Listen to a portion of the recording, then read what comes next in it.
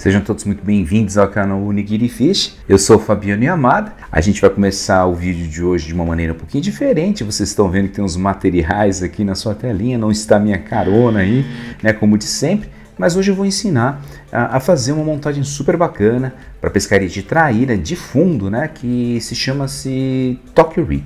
E se você curte esse tipo de vídeo, né, esses tutoriais super bacanas, já vai deixando um like, se inscreve no meu canal para que você não fique de fora de nenhum conteúdo. E aqui eu mostro várias pescarias, várias dicas sobre pescaria de traíra e outras pescarias também. Podem ficar tranquilos, pessoal, que todo esse material que vocês estão vendo aqui em cima da minha mesa, eu vou deixar tudo na descrição do vídeo, item por item, para que vocês possam comprar e fazer a montagem em casa. Aqui eu tenho o Tokyo Rig já montado de uma maneira um pouquinho diferente, né? Porque na, na época que eu montei esse aqui, eu não tinha o Split Rig, né? Que é essa argolinha aqui. Então eu fiz uma adaptação aqui, né? Com uns snapzinhos, mas também funciona da mesma maneira. Mas o resultado no final a gente vai ser este daqui. Então quer dizer, o chumbo bullet fica aqui no chão, junto com a miçanga, que é opcional, e a isca fica escada no offset aqui, fazendo esse trabalho aqui livre né, da, do chumbo bullet. O chumbo bullet fica no chão e vem arrastando a isca um pouquinho acima né, do, do solo. Isso faz com que desperte o interesse do peixe. Vamos deixar essa montagem aqui de lado e vamos começar a comentar sobre um pouquinho sobre este material. O primeiro passo é conseguir este tipo de arame aqui. Geralmente esses arames vêm assim, ó nas casas de ferragens, eles não vendem por pedaços, né? Talvez no, no Mercado Livre você encontra pedaços já retos. Porém, na maioria das vezes eles vêm. Quando você vê, tem essa situação do arame estar assim já, né, enrolado, nós temos a missão de deixar esse arame retinho. Ó, tá vendo? Eu cortei já um pedaço aqui e eu preciso deixar esse arame retinho primeiro. Eu vou deixar um pouquinho esses itens aqui de lado para a gente fazer esse primeiro passo com o arame. O primeiro passo, pessoal, é fazer essas pequenas argolas aqui, ó, dobrar as pontas né, do, do arame que você for usar, para que a gente possa torcer esse arame para que ele fique reto. Eu aconselho vocês terem esse tipo de alicate nesta montagem, esse alicate com o bico redondo, que o pessoal fala que é um alicate para artesanato. Isso vai ajudar muito. Se você não tiver, tudo bem, né? Mas tendo um alicate de bico bem fininho, vai ajudar bastante a você fazer esta montagem. Uma das pontas eu vou colocar no alicate. Eu coloquei essa, esse alicate de aqui de, de, pressão, porém vocês podem usar dois alicates desse aqui, um em cada extremidade do arame. A outra ponta vocês vão colocar no alicate aqui e os dois ou um lado vocês vão torcer para um lado e começar a torcer sempre de uma maneira bem leve, sem, sem pressa, sem nenhuma. Eu vou acelerar o vídeo e já vou, daqui a pouquinho eu volto já com a peça pronta, ok?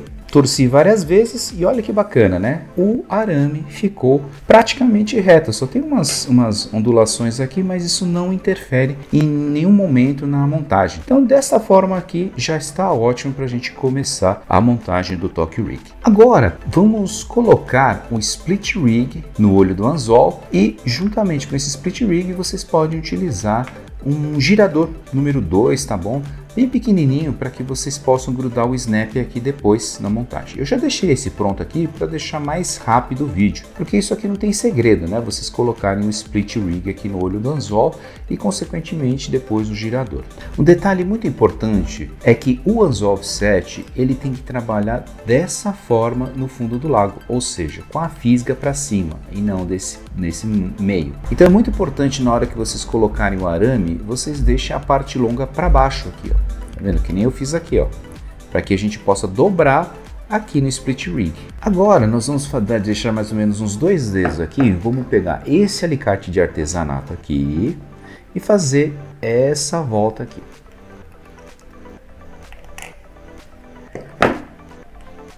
Vamos encaixar o split rig aqui e terminar o processo com a mão mesmo.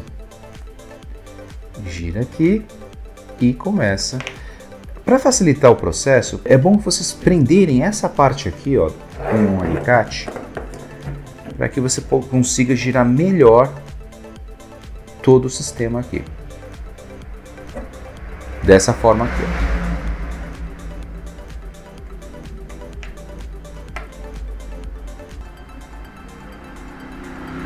Costumo deixar mais ou menos umas duas voltas e meia, já tá bom demais.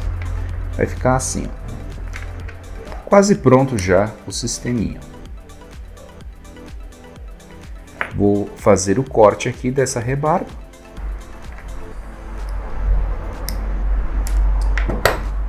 E completo o acabamento aqui.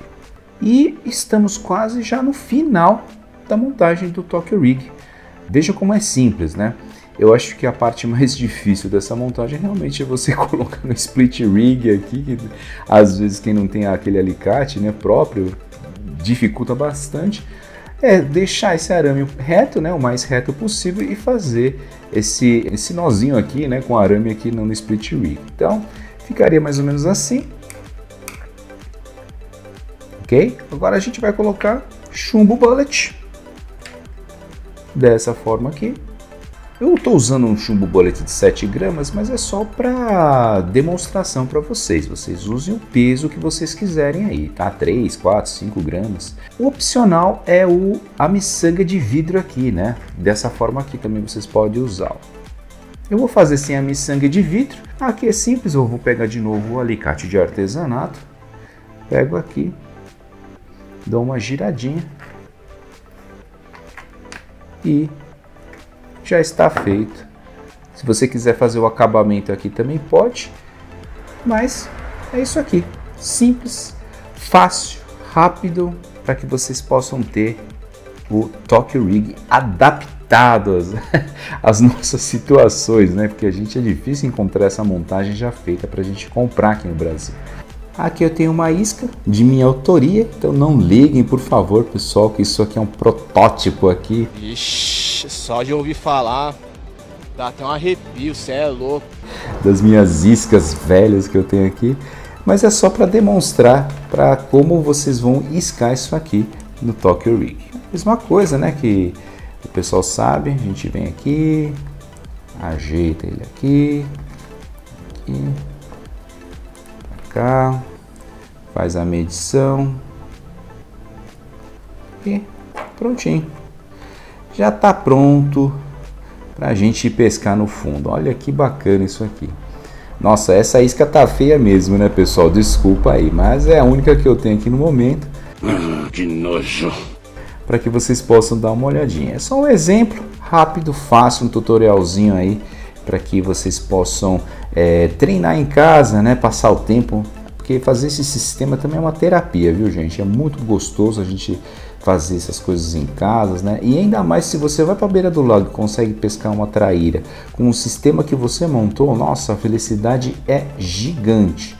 Recomendo essa terapia, né?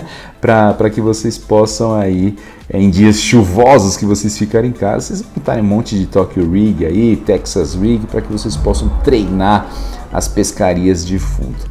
Fica a dica do canal Nigiri Fishing do Fabiano Yamada aqui. Se você curtiu este vídeo, já deixa aquele like monstro, um comentário. Se você não é inscrito, se inscreve aí, porque vai vir bastante coisas. Peço desculpas pela barulheira aqui dos meus vizinhos com moto, carro. O pessoal chega no final de semana, o pessoal fica doido, né? E me segue ali no Instagram. Coloco bastante coisas bacanas lá no Instagram. Tudo na descrição do vídeo, pessoal. Lista de material, tá tudo na descrição do vídeo, beleza? Boas pescarias, a gente se vê no próximo vídeo na beira do lago, testando quem sabe o Tokyo Rig aqui para a gente ver as dentuzas abocanharem esta montagem. Yeah. Abraço!